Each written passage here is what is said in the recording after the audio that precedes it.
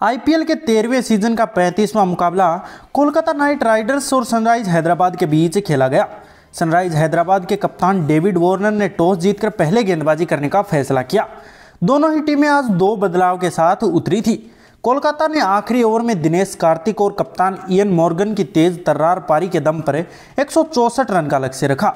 लक्ष्य का पीछा करने उतरी हैदराबाद की टीम ने छह विकेट गंवाकर निर्धारित 20 ओवर में एक रन बनाकर मैच को टाई कर दिया इस मुकाबले का फैसला सुपर ओवर में हुआ। सुपर ओवर में सनराइज हैदराबाद के लिए कप्तान डेविड वार्नर और जोनी बेयरस्टो बल्लेबाजी करने के लिए आए। वहीं कोलकाता नाइट राइडर्स के लिए लोकी फर्ग्यूसन गेंदबाजी का जिम्मा संभाल रहे थे।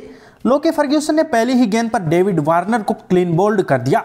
उनके बाद बल्लेबाजी करने आए अब्दुल समद।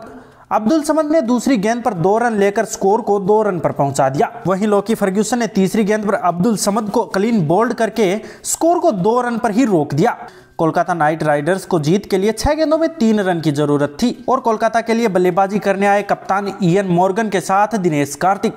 और वहीं हैदराबाद के लिए गेंदबाजी का जिम्मा राशिद खान के हाथ में था। राशिद खान के सामने थे इयन मॉर्गन। राशिद खान ने पहली ही गेंद डॉट बॉल निकाल दी। अब कोलकाता नाइट राइडर्स को जीत के लिए पाँच गेंदों में तीन रन की ज़रूरत थी। अगली गेंद पर इयन मॉर्गन ने शॉट खेला और एक रन भागकर पूरा कर लिया। अब कोलकाता नाइट राइडर्स को चार गेंदों में दो रन की ज़रूरत थी। वहीं राशिद खान के सामने अब दिनेश कार्तिक थे। दिनेश कार्तिक ने तीसरी गेंद पर शॉट खेला, लेकिन वो सीधा फील्डर के हाथों में चला गया। इसी के साथ उन्हें कोई रन नहीं मिला। अभी भी कोलकाता नाइट राइडर्स को जीत के लिए तीन गेंदों में दो रन की ज़रूरत थी और अगली गेंद पर दिनेश कार्तिक ने एक ज़बरदस्त शॉट खेला और दौड़कर दो रन पूरे कर लिए। इसी के साथ कोलकाता नाइट राइडर्स ने इस मैच को सुपर ओवर में जीत लिया। तो अगर आप कोलकाता नाइट राइडर्स की इस जीत से खुश हैं तो इस वीडियो को लाइक व शेयर करना ना भूलें। और साथ ही आप अपने चैनल एनबीआई स्पोर्ट्स को सब्सक्राइब करना ना भूलें।